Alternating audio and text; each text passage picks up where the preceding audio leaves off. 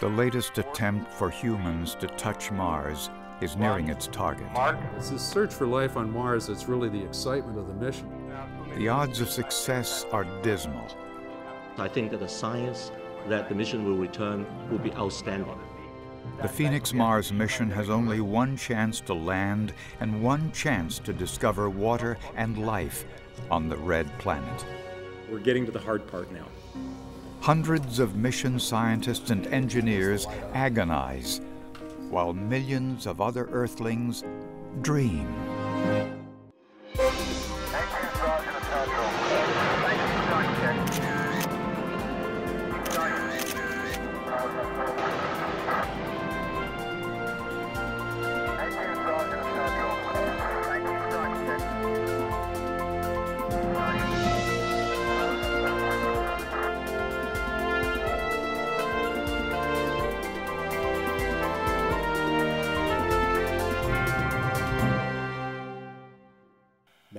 Start. Two, Ready. one, go. On August 4th, Saturday morning, 5:26 a.m., we had the most beautiful launch you ever saw. And that orbit around the sun is going to take us all the way out to the orbit of Mars, where we've carefully timed it so that Mars and the spacecraft will come together. 8K data in 10 seconds. Phoenix will travel 422 million miles over nine months to get to Mars. It has been nearly a decade since NASA attempted to land on Mars due to a series of failed missions. This is a rare second chance. The Phoenix arose from the ashes of the catastrophic Mars polar lander and uses many of the components from that mission and the canceled Mars Surveyor mission.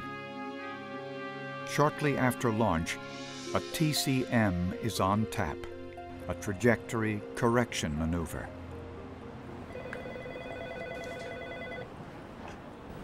Joe? You starting yet? Uh, in um, 30 seconds. If we, if we didn't do this burn today, we'd actually miss Mars by about 100,000 kilometers. It's not aimed at Mars to begin with because when we launch uh, the spacecraft off the Earth, there's a piece of that that's called the third stage. And that's basically on the same trajectory as a spacecraft is directly after launch. It's not clean as well as a spacecraft for um, Earth organisms and overall contamination. So, or we intentionally bias the launch vehicle's target so that that third stage uh, won't hit Mars. One, mark. We can verify that we are at the burn attitude for TCM2. Awesome. Uh, we can confirm that it was a very good burn uh, from the Doppler. It is uh, fractions of a sigma off. The burn was very nearly uh, as as designed. All stations, Phoenix GNC. Telemetry indicates that we've begun the return slope. Another 15 degree slope, take about 40 seconds. I think we're uh, I think we're going pretty pretty much where we uh, aimed, which is uh, really good news. Feels great, very good. We've got a long way to go. We still have uh, what seven months to.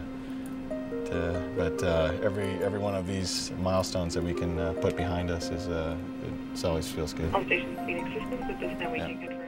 Before the stationary lander can begin touching, tasting, and sniffing for signs of life, the international team must learn how to command and operate their instruments remotely, blindly, while waiting 24 hours for results. Not unlike trying to teach a one armed person to tie their shoes over the phone. In early October, the team gathers to practice at the Science Operations Center in Tucson, Arizona. The exercise is formally called an ORT, Operational Readiness Test. As, I, as we promised yesterday, this is going to be an off-nominal ORT. The intentional part is That's probably the trickiest part of my job, um, is to create this, this illusion for them in a way that they are on Mars. Um, so we have a te- we have a test bed that's very good in, in a lot of ways. Well, we changed the whole environment of the test bed this time around, and it's all based on the HiRISE images of the landing site that we expect to set down in uh, at the end of May. And so what we had to do was go out and get a number of rocks that uh, were of the correct size and the correct uh, distribution. Um, they're going to discover that there's a, a, partial failure that has some fabric kind of flopping up in the in the way of unstowing the robotic arm. Let's find out. What's the timestamp on it? This is a good thing to check. Uh, what I want them to juggle is, uh, given that it's not obvious how to how to deploy the robotic arm, whether to do something heroic really fast, with taking risks in doing so, um, or whether to defer that a day and move um, other payload activities up forward in time. Our big concerns are landing safely. Uh, we're still maximizing our landing site for safety and science return. We are, of course, training the crew for all the aspects of the mission, and we're basically preparing ourselves for what's going to happen May 25th. On that date, Phoenix has one chance to survive EDL entry, descent, and landing. Seven minutes of terror while the spacecraft enters the Martian atmosphere, slows down while descending, and then lands safely on the surface. More than half of all landed missions to Mars have failed.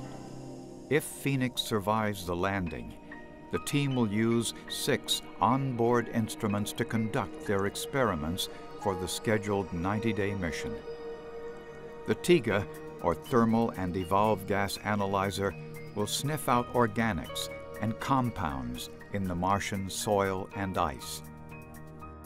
The Microscopy, Electrochemistry, and Conductivity Analyzer, or MECA, has a probe that will measure humidity, two microscopes, and a wet chemistry lab that will taste the soil for chemical properties like acidity, saltiness, and composition. The robotic arm will touch Martian soil and deliver samples to the instruments. There's a weather station aboard and two cameras. One, the stereoscopic imager atop a mast. Another, attached to the arm.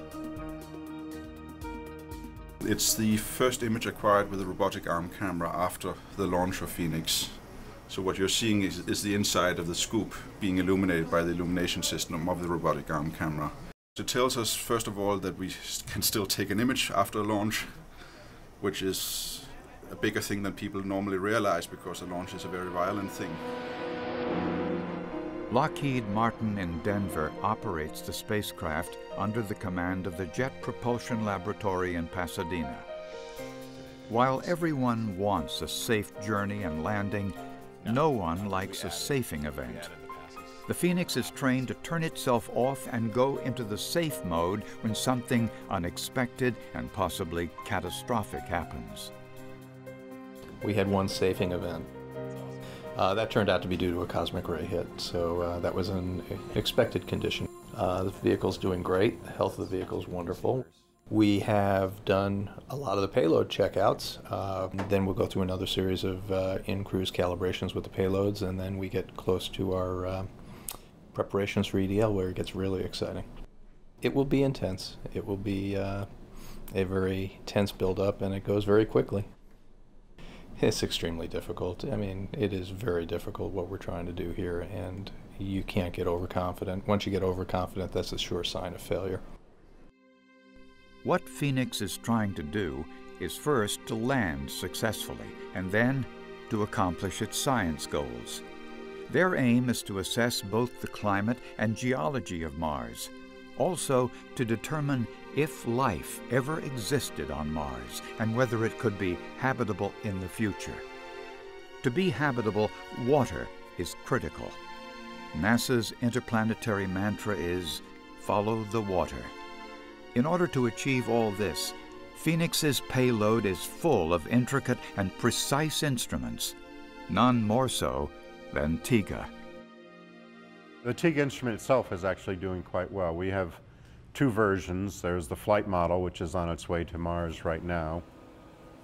The other version, the engineering model, we keep here in the laboratory, and that's one that we use for testing all of our command sequences on and make sure that when we command the instrument, it does what we uh, want it to do. Sometimes it has a nasty habit of doing what we tell it to do when rather than what we want it to do. And of course, we run these tests so we can uh, fix up and make sure we tell it what we want it to do. And 15. This is another opportunity to make sure that um, what we're running is consistent with what we've modeled and, and, tested in the past to make sure that we're not going to exceed those current limitations on the spacecraft and inadvertently mess somebody else's uh, experiment up or the mission in general. You hit start ramp at the beginning of this and it's proceeding. In charge of the science portion of the mission is the principal investigator, Peter Smith.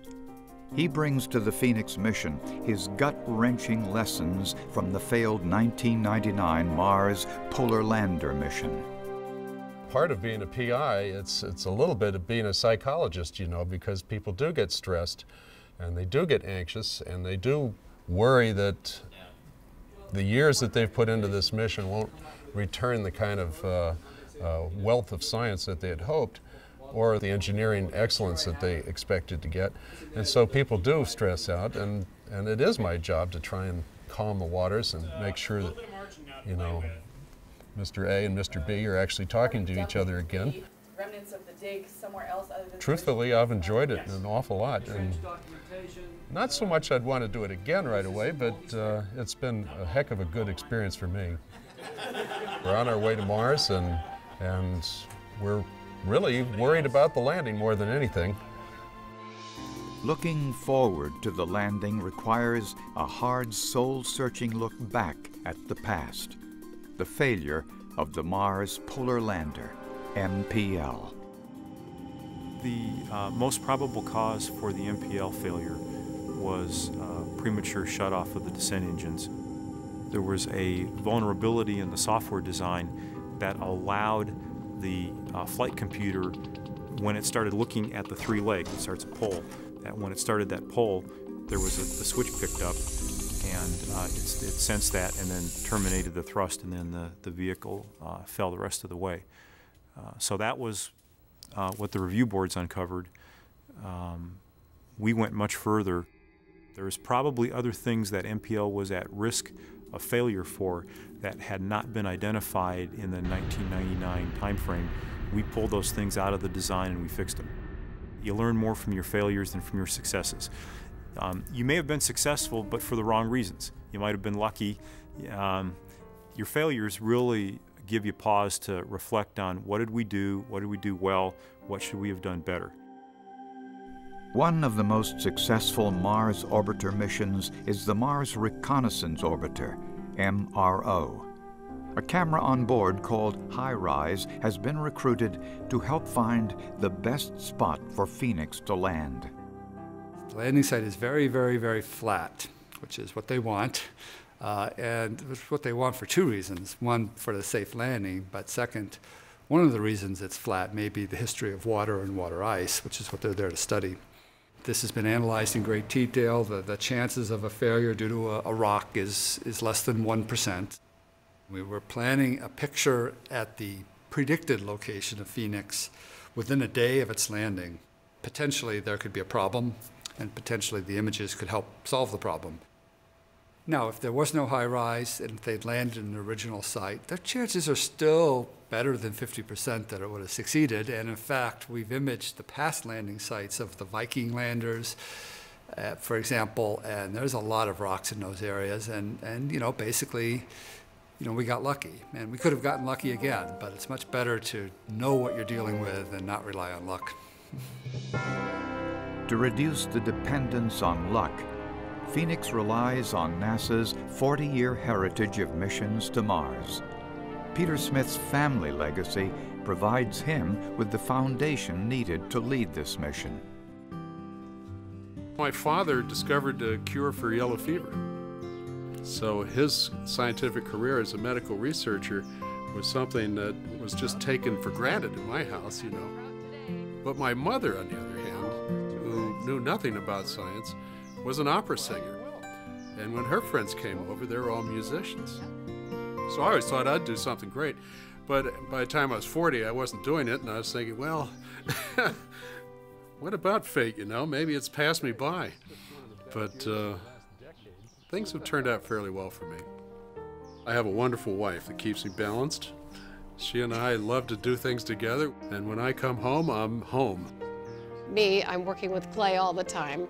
kind of reverted back to third grade, and Peter keeps me back into, you know, thinking.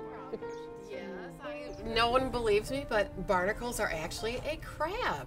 It's a huge benefit I get to reap in the fact that I'm learning, you know, all about Mars and and uh, geology and atmospheric science. It's something I never would have had the opportunity to be involved with. But you always liked geology. Uh, I, I've always been a rock hound. That's definitely true. So it's no accident that, you know, Dana and I really get along well, both in the science side and the art side. That's something I think we both treasure. On May 25, 1961, President John F. Kennedy boldly challenged the nation. I believe that this nation should commit itself to achieving the goal before this decade is out of landing a man on the moon and returning him safely to the earth. He also alluded to even more exciting and ambitious exploration of space, perhaps beyond the moon. 47 years later, to the day, that exploration will be Phoenix landing on Mars. With only 27 days to go, the team is practicing for the last time their one chance at landing safely. JPL Attitude Systems voice check.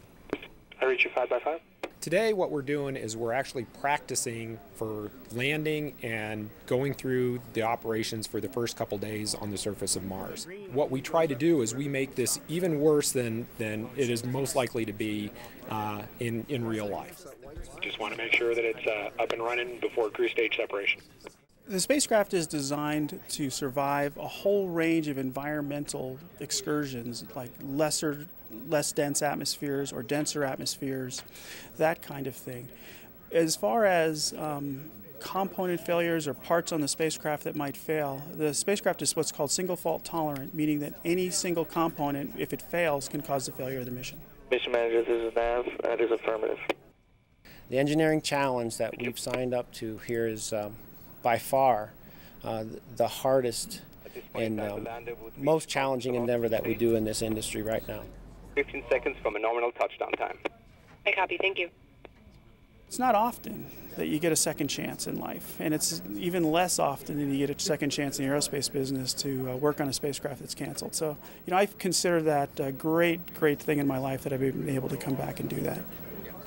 We've done everything we possibly can um, to uh, to reduce the risk, to to really try to put us in the best position. But um, we know that this is a very risky thing to do, and we know that success is not guaranteed. It's not like we can go into orbit and, and revolve around the planet looking for a nice soft spot to land in.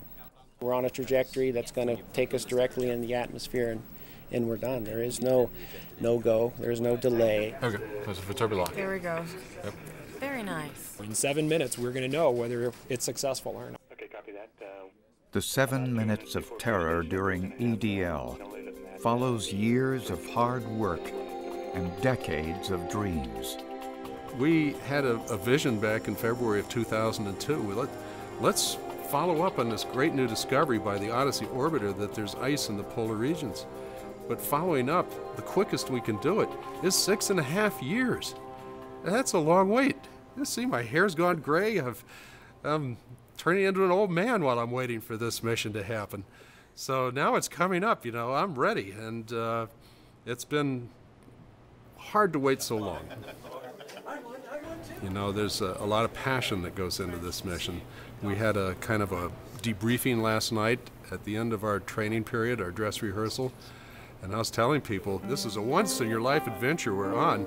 And accept that experience with your full heart because, you know, it's not going to happen again. We only land on Mars once, and that is a thrilling adventure.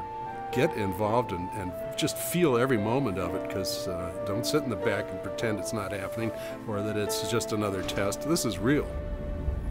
Welcome to NASA's Jet Propulsion Laboratory in Pasadena, California, and we're about 77 hours right now from that sequence known as EDL. We're having a, a press conference tomorrow to, to talk about uh, the, the, the health of the spacecraft. As we sit here today, it's really very humbling what we've gone through the past five years. Hopefully, the whole world is watching with us because this is really a mission about the, the the world community going to Mars. That's the way I look at it. Are we going to see are we going to see the northern plains in those first pictures or are we going to be just seeing solar panels? Today we are one day away from the entry into the Martian atmosphere and the descent and landing at the north polar region of Mars. If we land successfully and if we're able to do the science that uh, we've designed into this mission, I have every expectation that we'll be able to rewrite the textbooks. Go where there is no path and leave a trail for others to follow.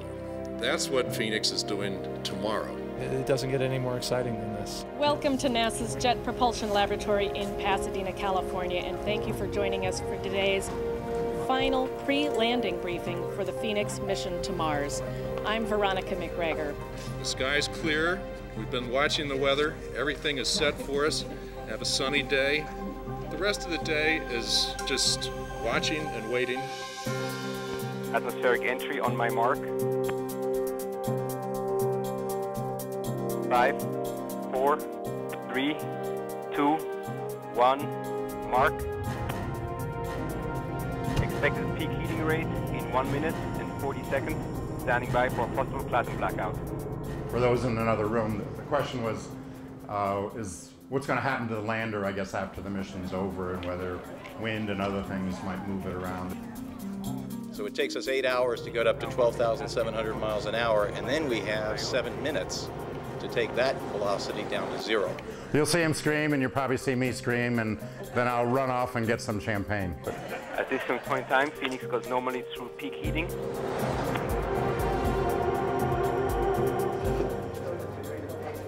We still have a signal via Odyssey, standing by for reacquisition via direct to Earth. There's no no second chance. There's no, you know, we're not going in an orbit or anything. We're going straight in, and uh, there's that's that's our fate. Stop of Odyssey canister data and switch to 32K in 10 seconds. Standing by for expected parachute deployment.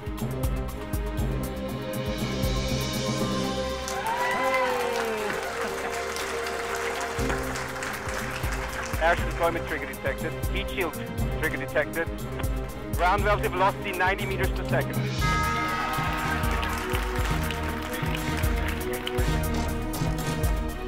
Land leg deployment trigger detected. Ground relative velocity 60 meters per second. Standing by for altitude conversion. Radar reliable.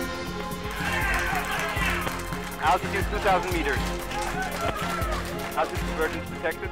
Altitude 1800 meters, 1700 meters, 1600 meters. Standing by for land separation. Altitude 1100 meters.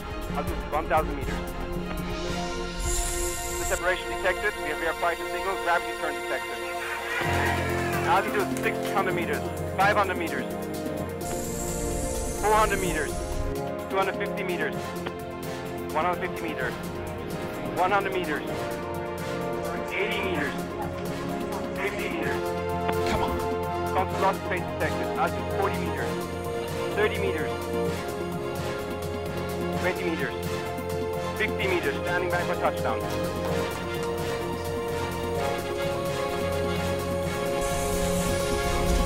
Touchdown signal detected. Land init. Land init sequence initiated.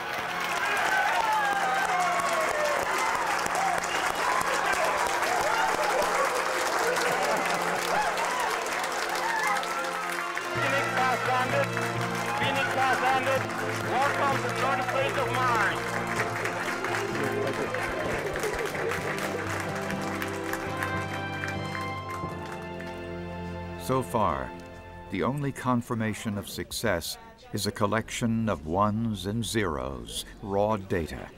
It will take another 90 angst filled minutes to receive pictures of Phoenix's new home. The pictures are going to come down roughly two hours because we have to wait for Mars Odyssey to come around for one more orbit.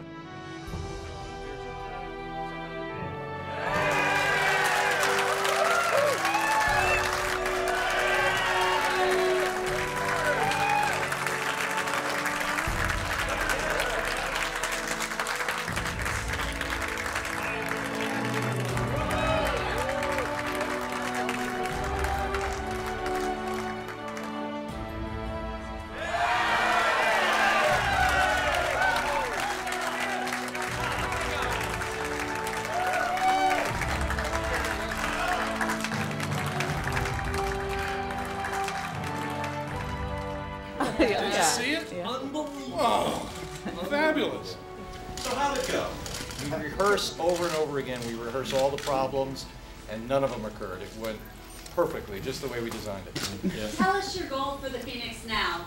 What are your goals? Get some pictures back. We want to see Mars. Congratulations. While celebration engulfs JPL, in Tucson, the HiRISE team will spend the night scanning images covering hundreds of square miles of Mars, looking for the eight foot diameter lander while in flight. Maybe it landed down here, actually. Hmm. And so it turns out that Heimdall crater is right in the middle of our image.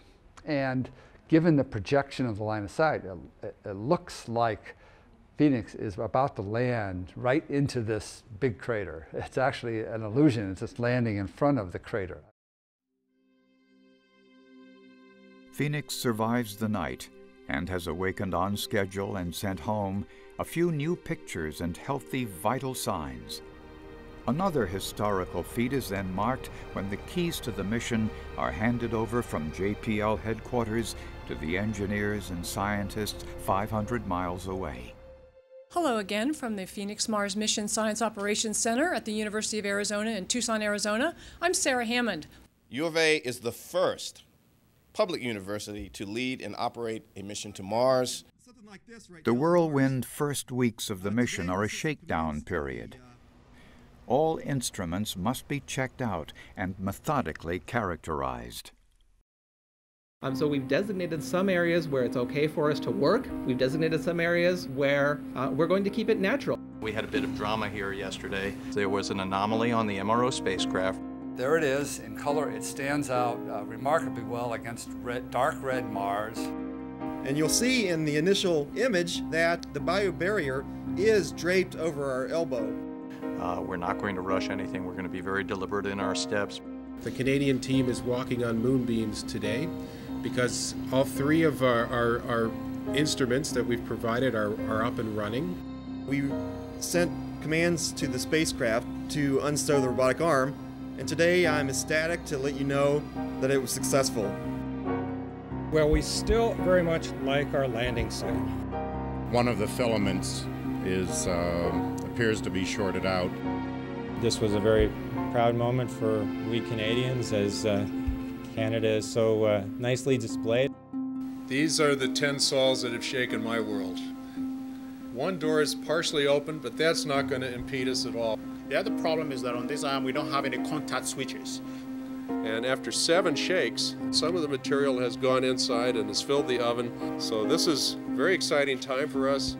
Um, before we sign off from Tucson, I want to wish all the gentlemen a happy Father's Day this weekend. Uh, we'll talk. The lander signs itself off nightly to charge its batteries under the never setting summer sun, and in the morning is roused to receive that day's instructions. These commands are sent from Tucson across 400 million miles of space to MRO and Mars Odyssey, circling above the planet. The instructions are held until Phoenix awakens and sends up to the orbiters the results from the previous day's experiments, which have been stored in flash memory.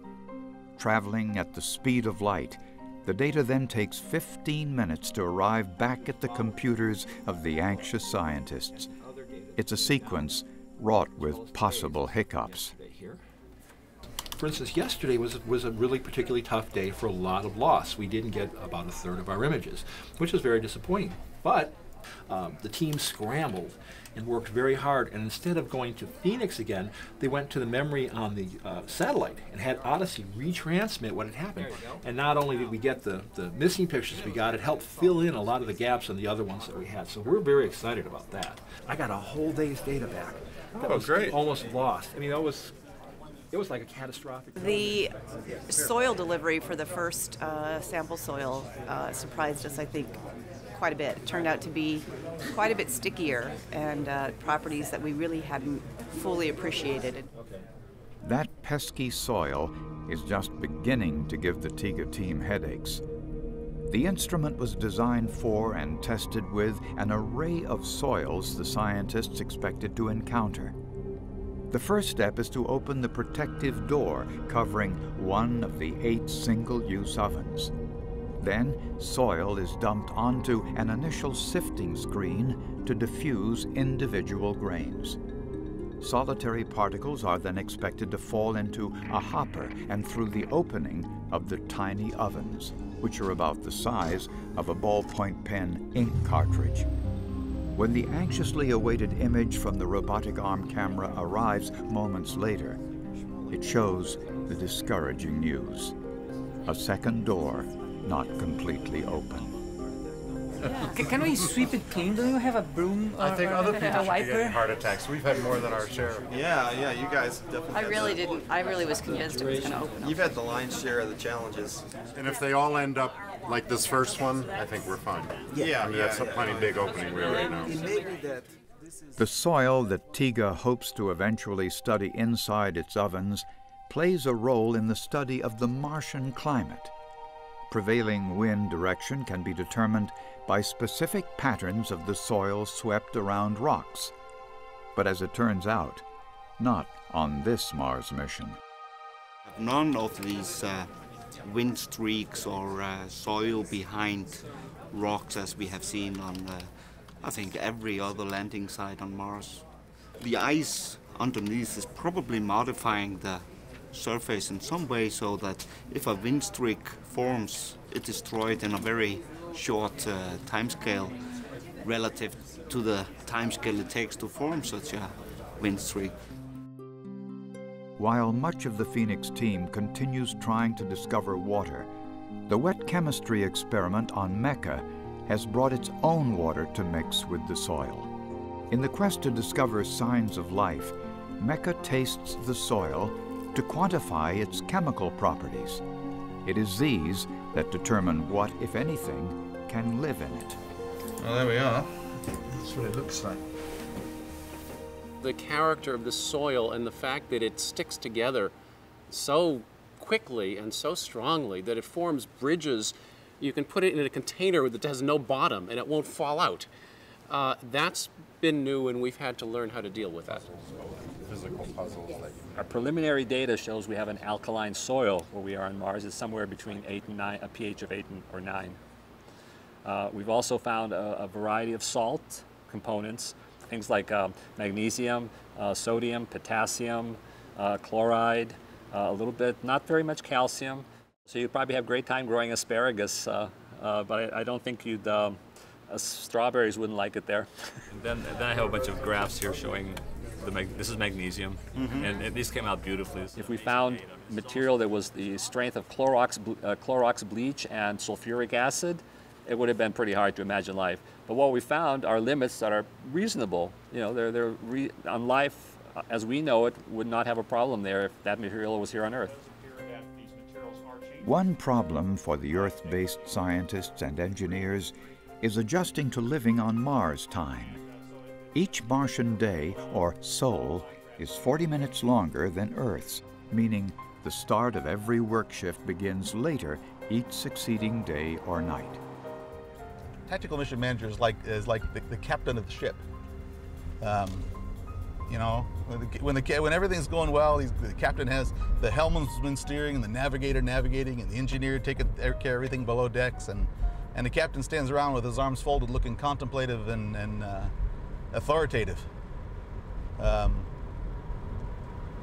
I don't get a lot of time to look authoritative and contemplative.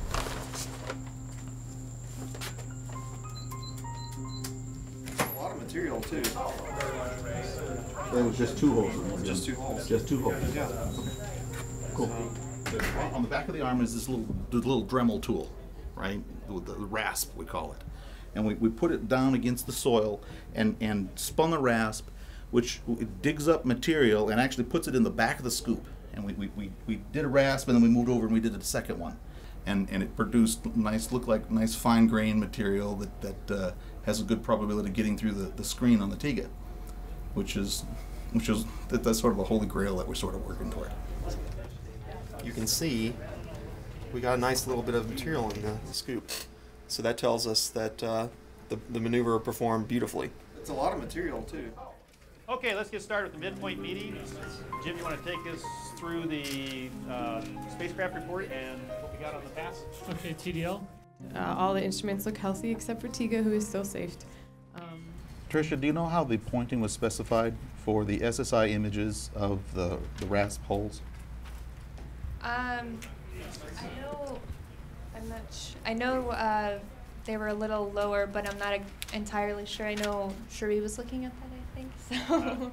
A, a little lower is an understatement. You guys got lucky to have it in the image at all. Yeah, the- The pointing was wrong.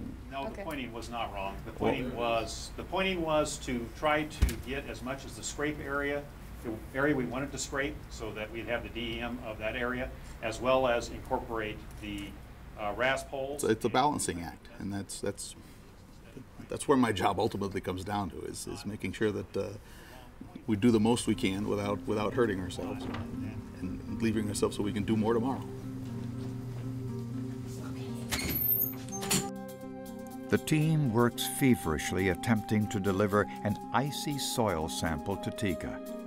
The best chance to find organics on Mars lies inside the ice.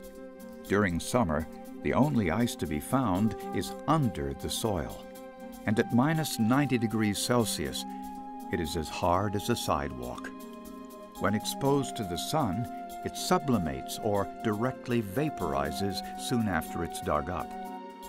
Phoenix's study of Martian water includes looking for ice not only in the soil and below the surface, but sometimes on the surface and in the atmosphere. Uh, we've been able to take humidity measurements uh, for the first time, and um, we were measuring the humidity near the ground and then up in the atmosphere with our robotic arm, an instrument that's placed on the robotic arm, so we can uh, measure from the ground up to about two meters above the ground, and we can see that it changes the further up that you go. And that's really interesting because that's probably telling us something about how that water is exchanging with the surface. Uh, we've also been able to uh, see some frost formation, you know, day by day, and even, you know, perhaps following the shadows of rocks. These shadows lengthen near the end of the 90 day mission as the sun drops lower in the horizon. That looks excellent. The robotic arm and TEGA team scramble to refine soil delivery techniques. The climate team continues to measure temperatures, clouds, wind, and moisture. The imaging teams shoot and analyze thousands of pictures near and far. After a week of practice, all eyes focus on TEGA when the lander phones home. Yeah, we got dirt in the oven. Oven's, oven's closed. Which So- RPC do you want? Uh, six. So we're heating. Current or voltage? Come on. Oh, here we go. Here we go. Here we go. It's just starting to come in. We went and did some scraping and then used the uh, scoop mode, kind of a grab and go, got that material, and then poised it above TEGA and sprinkled it in, and they have an oven full signature. So they're in the process now of analyzing the data and looking for what phase changes um, have taken place.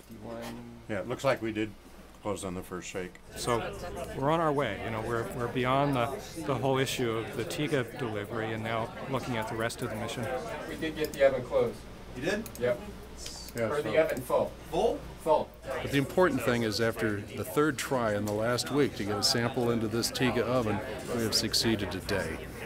Green. Yeah, we got, There's we got a water there. signal. Water. Dad and Billy discovered water again. Yep. Water on Mars. Okay, can we be happy now? We can be happy. Hey, this is a stellar day for us. We have waited so long, actually a full month, to get a sample into TEGA that would show that we have H2O in the ice. And today is the day that we can prove that.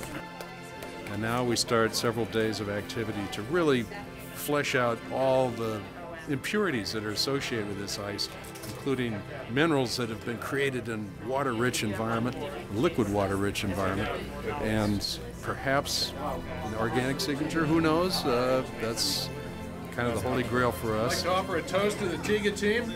Who makes sampling Mars look easy? Not all discoveries are so immediately confirmed or celebrated. Last month's MECA experiment identified an especially unexpected substance, one that on Earth can be toxic. Its detection took the team by surprise. Get excited, guys. well, we're, we're speechless. In our first uh, wet chem experiment, we uh, actually detected uh, one of the very strong signals was a signal which we at first did, couldn't identify.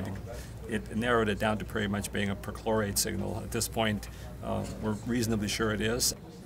Yeah, yeah, yeah. It changes the chemistry of Mars in some ways.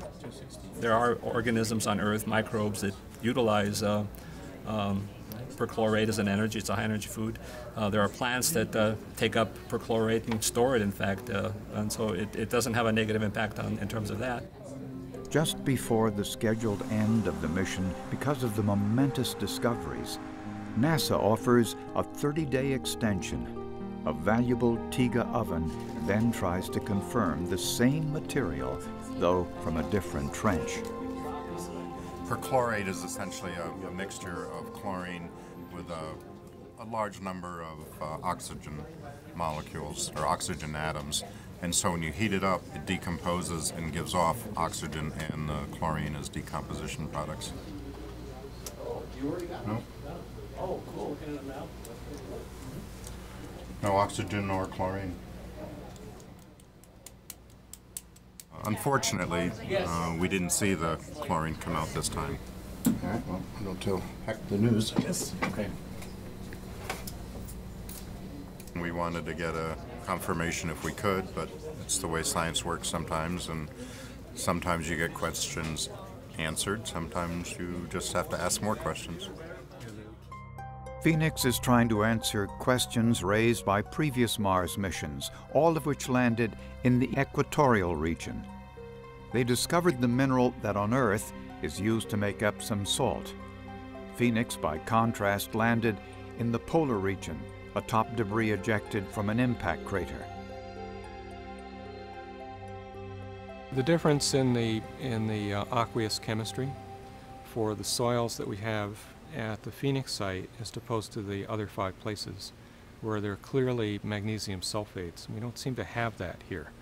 Uh, so that, that gets again to the unique geologic setting, being on top of a partially eroded ejecta deposit and placed as a debris flow or a mud flow, and then being in a zone where the ice table moves up and down dramatically as the uh, orbit of Mars changes.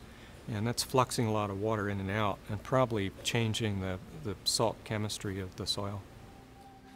Even with the mission extended and the delivery technique refined, Phoenix's days are numbered. But it was designed as a terminal mission. From the outset, it was known the sun would vanish and carbon dioxide ice several feet thick would encase the lander during the winter. Every day, the team anxiously waits for the data confirming that TEGA has filled another oven. So I'll know the moment it starts coming.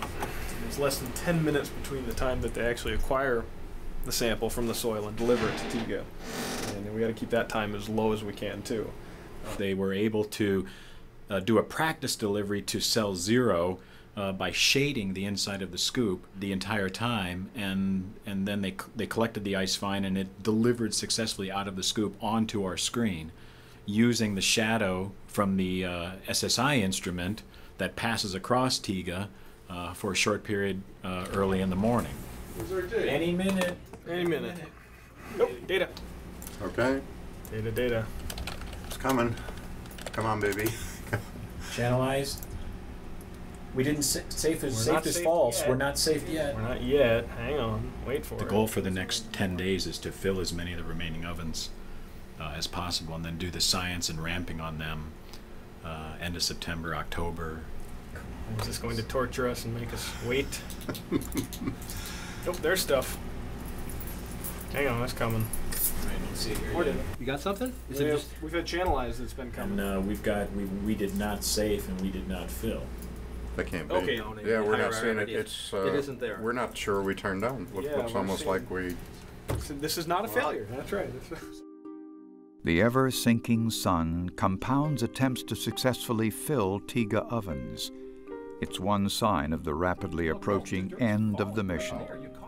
As the days get shorter, there's less power and time to fill ovens, to bake samples, and to find signs of life.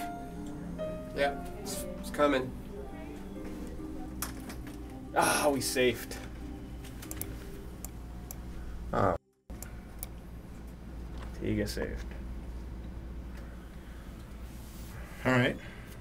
Well, I better go Didn't you tell just Carl that we, we got to go Plan B tomorrow. Yeah. Got a little bit, not very much. That's similar to the first. Yeah. Some of the first ones we had. All right. Well, I'll give Heather a call. Maybe she knows already. Hi, Heather. It's Bill.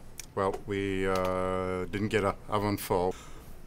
There was a fair amount of stuff on the screen, so uh, looks like the problem's at our end. All right, should have gap report. What was Plan B? Plan B, no one's really sure. In late September, a tantalizing glimpse of the looming Arctic winter is seen for the first time ever. Snow falling on Mars. In mid October, TEGA's luck changes and it successfully fills and bakes another oven. So far, we've found that we uh, definitely have calcium carbonate. There's a, a phase in there that releases carbon dioxide at very high temperatures, greater than about 700 Celsius. And really, calcium carbonate is the only phase that can do that. On Earth, calcium carbonates like chalk and marble are formed by the deposition of fossilized seashells and coral, past organic life.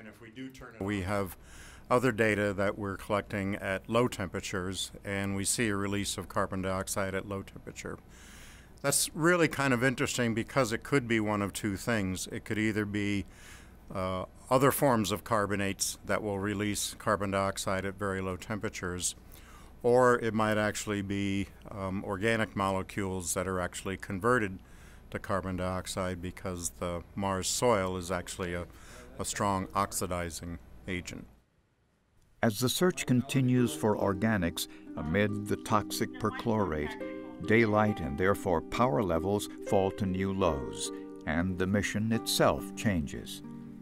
Though granted a second extension by NASA, the majority of team members return home to trim expenses and to tend to other commitments. Housed at the University of Arizona, the TEGA team already is home. We're planning something we haven't done yet on the surface, and that's to enrich um, the rare gases and what we call the gas enrichment. Do we get data? Not yet. It's not down yet? And so today we're actually running a test in the laboratory to make sure we've got the parameters for controlling the temperature down just right. So when we uplink it to Mars, uh, things have a high probability of working well. We're going to be doing this on Monday when it's not clear there's even going to be enough power left for us. So we, we know we're not going to get a second chance on Mars. We don't know for sure we're even going to get the first chance, but we want to make sure we test things out in the lab to give us a better chance of making it work. Okay, uh, Doug, if you would bring up uh, the historical and strategic plan for me, please. Welcome to uh, Sol 147, planning for Sol 148. Well, yesterday we had a very uh, busy day uh, in light of our current uh, power state. Uh, we did a whole lot yesterday. On November 2nd, all communication from the lander abruptly ceases. Though expected, the death of Phoenix due to insufficient solar power is hastened by the cold, by cloudy skies, and by dust storms, the very soil Phoenix has studied for months. We've declared the end of mission. It's it's a bittersweet experience for me. We were calling it the, the hospice mode as we were getting towards the end, and that's the way it felt. You're you're losing a loved one. When we wrote our proposal, we asked for a 90-day mission plus a 60-day extended mission, 150 days. We lost our spacecraft on day 151. So we got 100% of what we asked for. Scientists are a little greedy. We wanted 100, 110%. The landed phase of the mission is over, but the real science discovery is just beginning. We've collected all the data we're going to get, and now it's time to do a complete analysis. We haven't quite, you know, plumbed the depths of what we've learned, but by gosh, uh, we're after the truth of the northern plains of Mars, and whether it's what we hoped to find or didn't hope to find, we'll find what's there. It's not only finding what's there, it's also sharing the discoveries with the world. In mid-December, the team of scientists gathers in San Francisco to officially present its preliminary findings. Gathered at the annual meeting of the American Geophysical Union are more than 10,000 prestigious international planetary and Earth scientists, and the press. Before they present their findings, they must first figure out what they have found. Perchlorate. What in the world is perchlorate doing to everything? Nobody knows what a magnesium sulfate is in the press world. Well, they can't eat organic compounds on Mars because there aren't organic compounds there. How do we put this together for tomorrow's presentations? It's certainly uh, provocative. No. What? No. We don't know if they lack sulfur or not. So I've put 80% confidence here so that we don't have to feel like this is being written in the history books. Maybe the ice cap is less important than we thought. I don't want to get to the end of my presentation and have deleted every single one of my conclusions so that I can't say anything at the press conference. I would like to have some conclusions, and maybe we're going to try another slide. Next slide. We found that the, the soil was laced with perchlorate like some of the most arid soils on Earth. I mean, it's not 100% certainty. I said 80% confidence. I think Bill's point was probably not. Mike's point was we need snow. Aaron had some point, and I forget what it is. and Carol's saying yes. So what are we actually saying? Hope, hope you brought your sleeping bag, Ray. We're going to be here all night. I would say, as unequivocally as one ever does in this business, have determined that we've got calcium carbonate.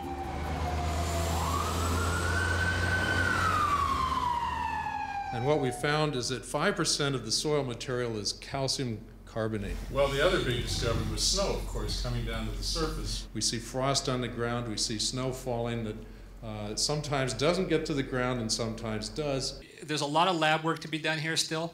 We're really needing to do more lab work. We're really, you know, presenting preliminary results. We found largely a windblown soil. The landform is periglacial and differentially eroded, but the bulk of the soil that we're looking at come in from the sky. Perchlorate identified at the 1% level. Well, I don't want to quibble, but I think we it's more like 0.7 percent. and we now know that there are tiny amounts of salt and a large amount of something called perchlorate. Phoenix is really a stepping stone in the, the pathway of finding evidence for habitable zones and then perhaps later life on Mars. What we're trying to do over the next few months in our future work will be to try and get that last piece in this puzzle clicked into place. Now, one year after Phoenix landed, pieces of the scientific puzzle that is Mars exploration are rapidly starting to fit together. Time to reflect on the success of the Phoenix mission. Since we've um, uh, completed our mission in November, there's been two very interesting discoveries about Mars. One is that the ice apparently still exists near the surface down to much lower latitudes.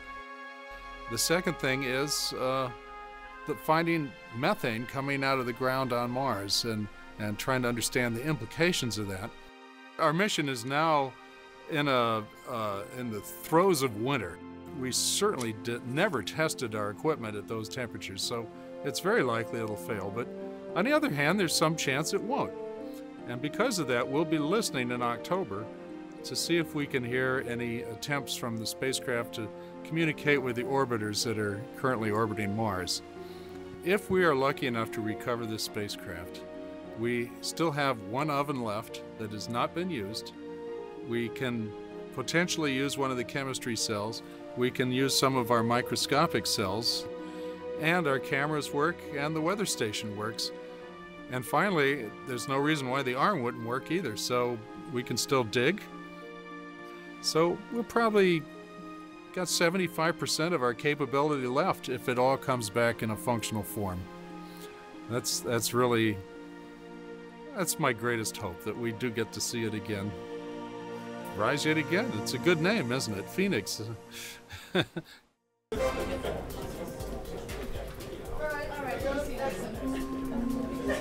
In that case, I'm going to sit on the other side of the table so I can see a little more of the faces I'm arguing with you.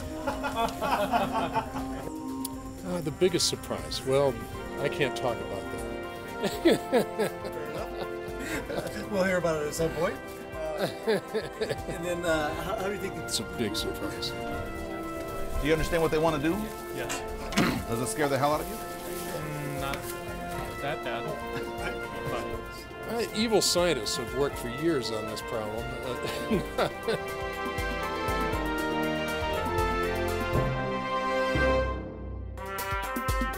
Learn more about the Phoenix Mars mission on the web at this address. Phoenix Mars Mission Onto the Ice is available on DVD. To order, visit us online at shoppbs.org or call PBS Home Video at 1 800 PLAY PBS.